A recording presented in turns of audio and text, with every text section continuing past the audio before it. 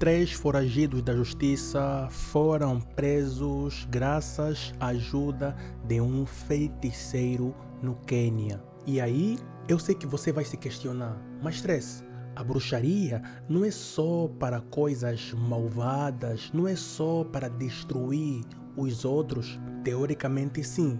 Bruxaria é coisa do diabo. Mas este caso aí é um caso muito raro, minha família. Só que existe alguns bruxos, né, no Quênia que são considerados como curandeiros, pessoas que curam.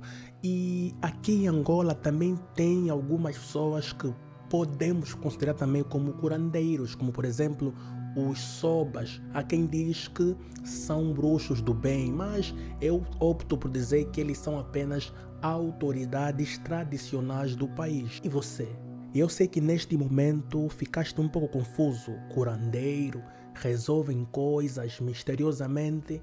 Yeah, eu também fiquei confuso, mas este caso aconteceu no Quênia e lá acontece muita coisa. Então fica ligado neste vídeo. Olá pessoal, daqui fala para vocês o vosso boy Henrique Stress para mais um vídeo no nosso canal pessoal. Quem não tem inscrito, subscreva no canal e deixa o vosso like porque é muito importantíssimo. E ativa o sininho para não perder nenhum vídeo. Depois de eu publicar vários casos sobrenaturais, comecei a receber várias sugestões de vídeos relacionados a esse tema. Um dos inscritos daqui do canal sugeriu para mim falar sobre um caso que aconteceu no Quênia. Eu achei o caso muito, mas muito estranho. Um feiticeiro, ou bem dizer, um curandeiro do Quênia ajudou a polícia a aprender três foragidos da justiça, três pessoas que estavam a atormentar as pessoas de uma certa localidade no Quênia. Eu decidi investigar muito bem caso, minha família, e descobri que este mesmo caso inédito foi publicado na conta oficial do Twitter da Unidade de Investigação Criminal do Quênia.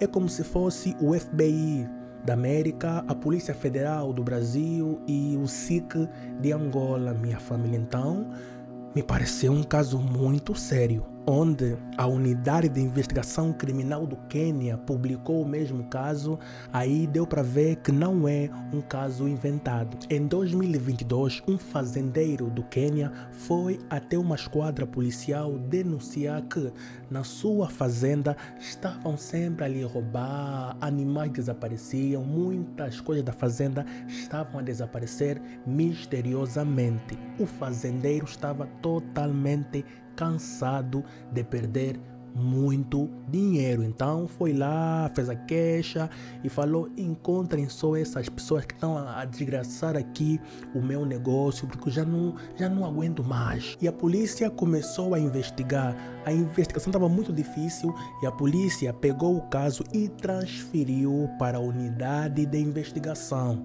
Investigaram, investigaram, investigaram, mas não estavam a conseguir completamente nada, porque os ladrões eram tão bons que não deixavam vestígios onde eles passavam. E o fazendeiro, cansado da investigação da unidade de investigação do Quênia, decidiu optar por uma outra via. Ele viu que não é pá, a polícia está a demorar para solucionar este problema. Dia, meses, nada está a ser feito.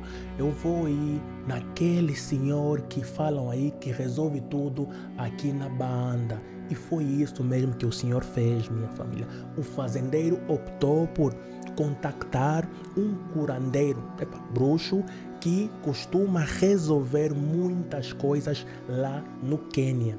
E o fazendeiro também chegou para lá e explicou o problema no curandeiro, e o curandeiro bruxo foi na fazenda do Senhor, fez aí alguns rituais aí, epa, macabros, satânicos, creio eu, fez aí algumas dancinhas misteriosas aí e disse: Fica calmo, daqui a dois dias, dois dias, os próprios ladrões vão vir se entregar. O fazendeiro achou que fosse apenas falácia, disse: Epa, eles próprios é que vão se entregar. Relaxa, papai. Eles próprios é quem vão mesmo se entregar. Você fica só na tua casa, conta só apenas dois dias, eles vão vir se entregar. O fazendeiro ficou admirado, claro, mas confiou na palavra do quimbandeiro. Adivinha o que aconteceu, minha família? Depois dos dois dias, os ladrões se entregaram e tudo foi filmado.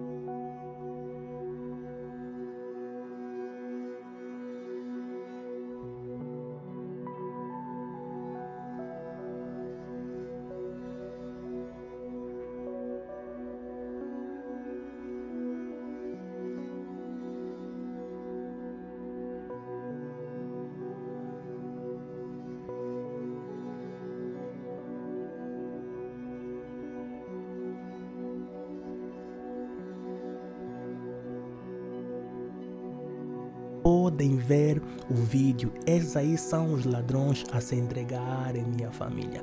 A população toda admirada com a situação.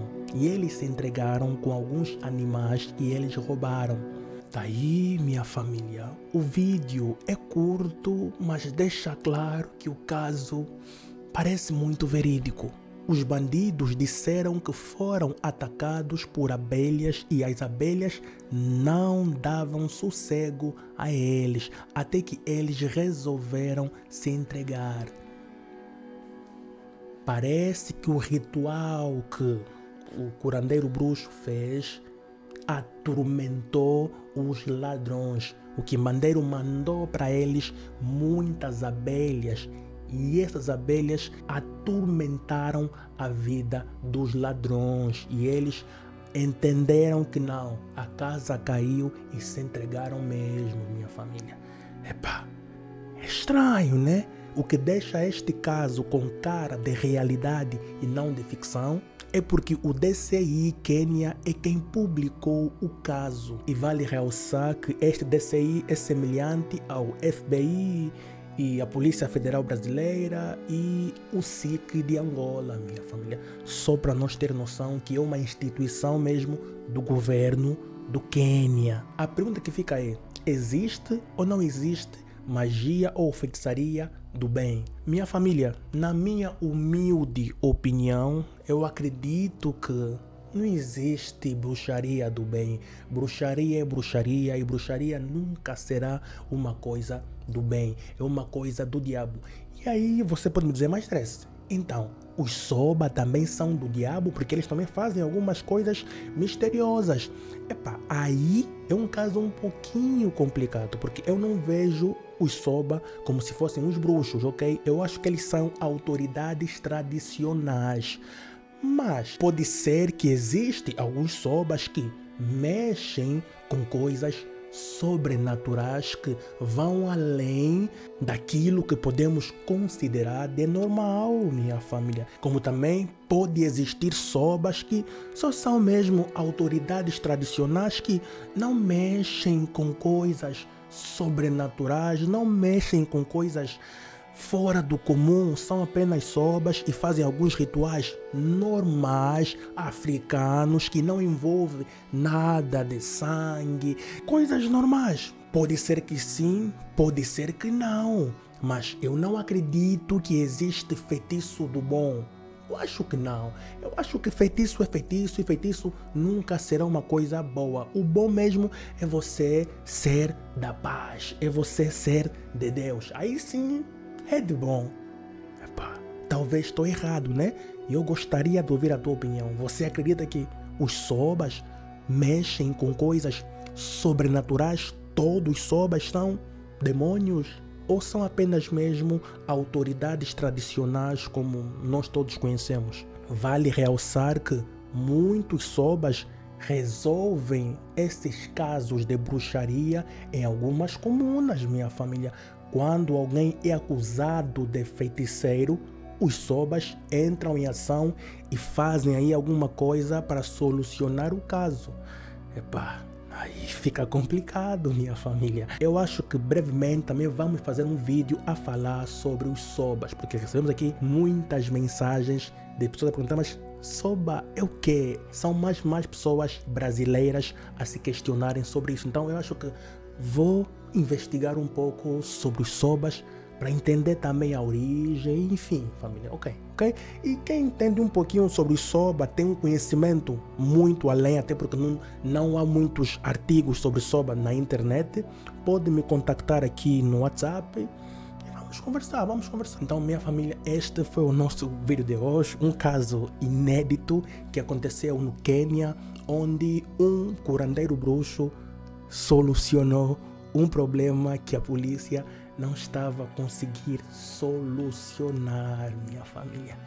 Epa, a pergunta que não quer se calar: existe bruxaria boa ou não? Eu acho que não vou mudar de opinião, minha família. Não existe bruxaria boa e quem pode nos auxiliar para resolver os nossos problemas é apenas Deus, de uma forma justa, de uma forma normal. Então, por isso, quem acredita em Deus sempre diz: Eu entrego tudo nas mãos de Deus. Mas isso não quer dizer que você vai ficar parado, né? Você também vai se mover, mas vai entregar tudo nas mãos de Deus para Deus te auxiliar, ok? Então, minha família, se você gostou deste vídeo, por favor, deixa o teu like, comenta e partilha para mais pessoas terem acesso a esta informação. Que Deus abençoe Angola e abençoe você que está a agora.